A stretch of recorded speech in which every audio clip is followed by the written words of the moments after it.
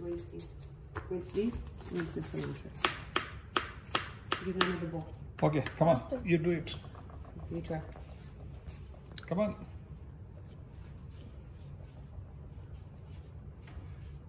Okay.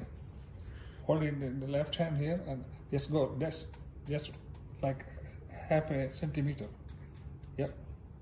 That's good. Turn, turn, turn the Turn. cucumber. Keep turning the cucumber. Turn. Keep turning Turn. it. Now put it down and slice it.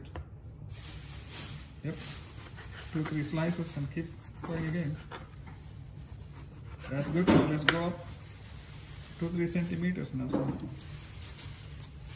it go through the whole length. Yeah. Keep going.